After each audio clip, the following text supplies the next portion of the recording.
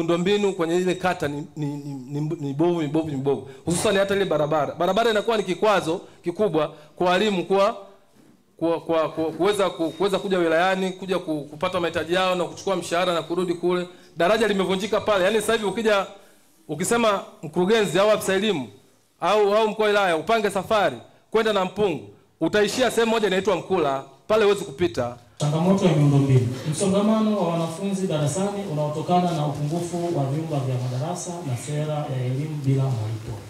Hili la kujenga nyumba za walimu tunalichukua, tutaendelea kutenga kwenye bajeti kulingana na upatikanaji wa fedha tutakaokuwa nao.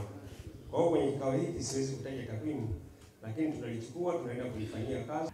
cha muhimu kwa maana lengo letu kubwa ni kuhakikisha kwamba tunaongeza ufaulu katika wilaya yetu ya Tunduru, lakini pia tunakabiliana vilivyo kuhusiana na kufeli kwa watoto wetu kuanzia shule ya msingi mpaka shule ya sekondari. Lakini jambo la tatu ni kwamba kuweka mikakati imara kabisa kuhakikisha kwamba e, wilaya yetu ya Tunduru inafanya vizuri kwenye sekta ya elimu tofauti na ilivyo sasa.